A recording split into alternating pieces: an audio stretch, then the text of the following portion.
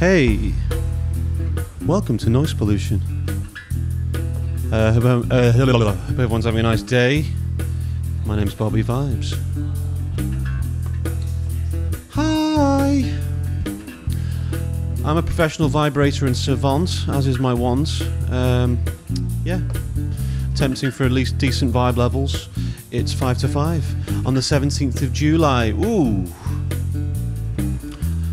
I'm listening to um, the song Out of Time by Blur.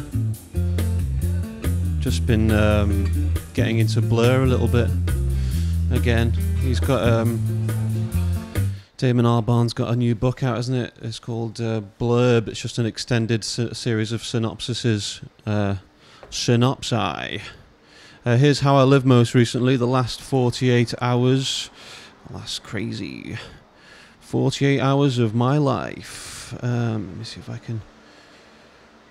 Last 48 hours of how I lived most recently. Uh, here we go. Left the studio, went to um, my work place of work, which oh here he is. Let me get rid of that. I've just got to commence that. Just uh, um, here we go. Here's a recent event for you. Oh my goodness! Cycling home, and there's a fire fire engine. Oh, I did a beat. Let's have a listen to that. Oh, I, I did a little jam with Greg. I'm teaching Greg how to play guitar, though he doesn't like me to say that. He's uh, I'm helping him learn. We did a little country song. Thank you, Greg. And there was the um, loads of um, guys on this beer truck, so they're pedaling it themselves. Yeah. They're pedaling it themselves. Um, it's beer fueled. Uh, beer fuel. It's Banter, pure Bants on the road there with the bikes and everything. Um, here's uh, work, my place of work, the Bongos Bingo. Bongos Bingo, yay! and uh, playing with the cameras and stuff. It's just everything was lovely. Got home, we did some stretches with the wonderful and effervescent Hannah and Connie. There's outside there. Uh, pumps. I'll spare you the audio. Um, just pumping loads, pumping it. What, have we got here? Piumph. Um, anyway, Piumph. Let me get rid of that. Um, and doing lots of uh, cold showers and keeping cool, literally. And then, um, what was this the next day? I didn't film anything at the actual show. My friend Tommy Calderbanks, who has been, um, cheers, honey. Uh, can't pause at mid cheers. Let's find a good thing, place to stop and describe the bingo. There we go. Um, Tommy Calderbanks and his partner Ange came along. Uh, big fan of Tommy and his work. And his partner's great, so um, they came along. So I ended up just um, not really being on my computer, uh, not being on my phone, just chatting. So I didn't actually film anything. So this is the next morning. Me and Hannah having some. Uh, so glad she's home. Um, it's lovely that um, here is uh, Martina Navratilova describing the. Um, have I highlighted it here? How special the water in Czech Republic is. Um, so I might do some exploring into that. Maybe there's something to do with the quality of the water and the quality of the sporter, per, sporters person. So Speaking of water, I'm going to crack open a fresh ched here. Listen to this. Oh, there's me. Oh, extra fizzy. Not, I haven't won the uh, the hydrogen powered Formula One. That's what they'll do, won't it? Um, they'll drink the water from the cars at the end. Hopefully, that's nice. That'll be nice. Anyway, um, yeah, apparently the water's dead good there. More stretches. So when am I? D- yeah, we're doing. This is the day after. I'm just stretching loads. I feel like my my body's really enjoying this little pumping routine. Oh, that's, oh, I've gone the wrong way there. I've gone off the screen. I've pumped myself off screen there. Um, and then into a call. I, I was enjoying these faces that I was making. Let me see if I can pull up a face for you. Oh, there's a face. There's a face. Look a bit like a uh, like Wolverine or something the guy from Flock of Seagulls. Medding, almost constantly now. And then Hanny was had a little nap post med. Just relaxing. It's really about. Um, I'm uh, I'm understanding more and more the um, how you can zonk yourself out. Um, you know, you've got to mainly. I was just think I was thinking I'd develop this thing. It's like noise pollution's a bit of a brain gym, where I'm keeping my brain nice and um, supple just putting all my bits together and all the gubbins and everything, and just so you know, I'm just enjoying that aspect of it at the moment. Just and then we had Hannah went to the shop and got some mad chips. I had a few. It was a really bonkers uh, decision there, Hans. But we got some falafel wraps and then went to our mate Dozzy's uh, 60th birthday. Happy birthday, Dozzy! Happy birthday, Dozzy! Happy birthday, Doz! Happy birthday, Dozzy!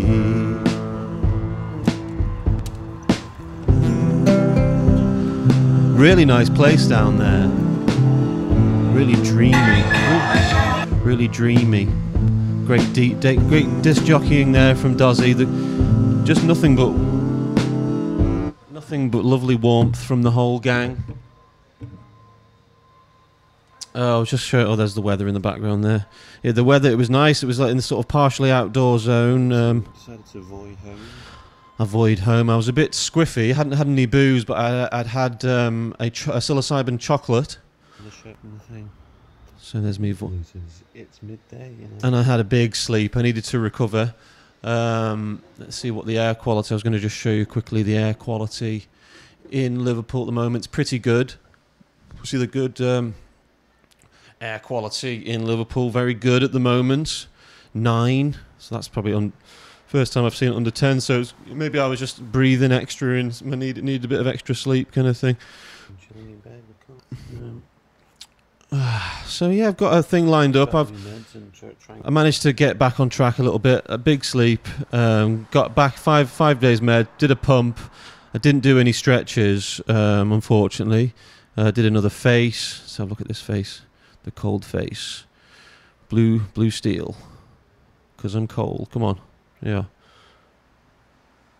What a face. Uh, facial.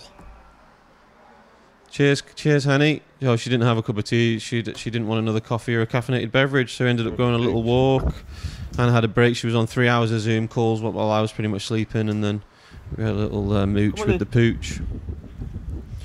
Little mooch with the pooch. Hello, mate.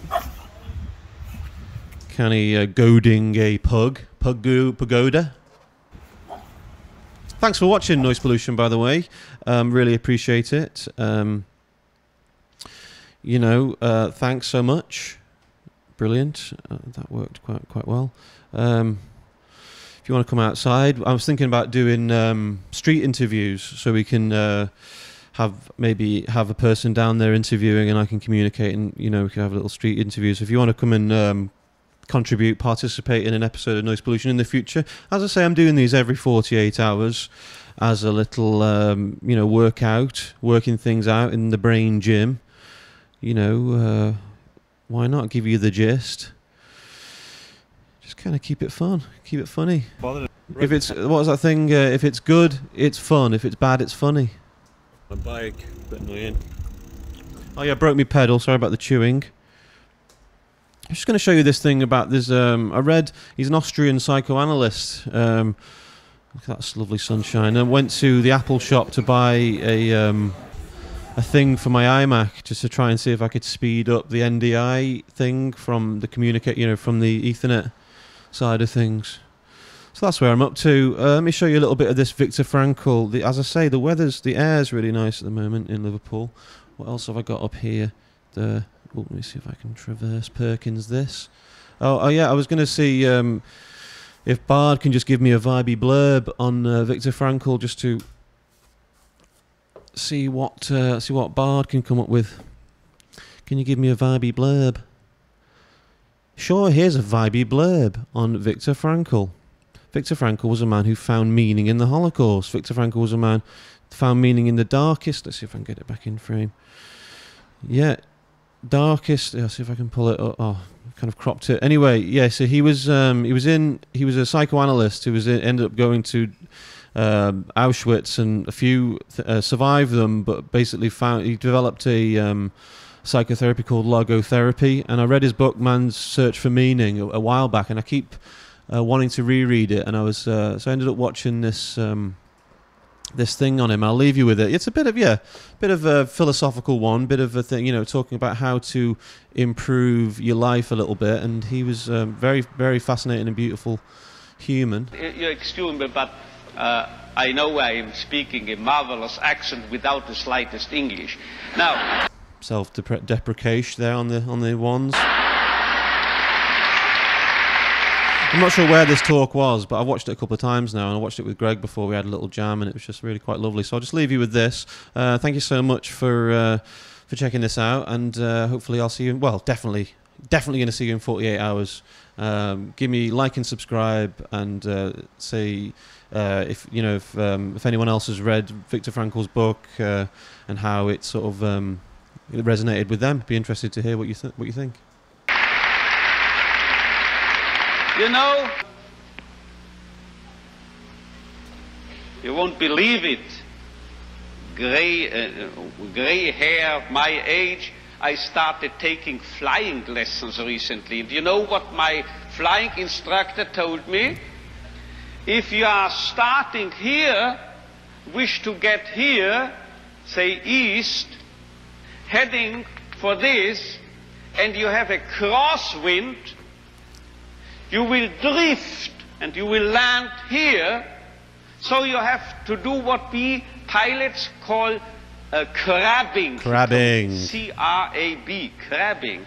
You have to head for north of this uh, uh, air, airfield and you have to fly that way, you see, as if you headed in this direction. If you are heading here above this airfield, then you will actually land here.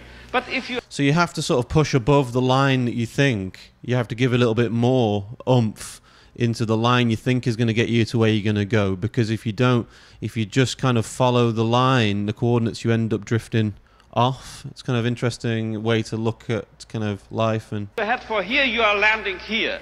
This holds also for man, I would say. If we, if we take man as he really is, we make him worse. But if we overestimate him,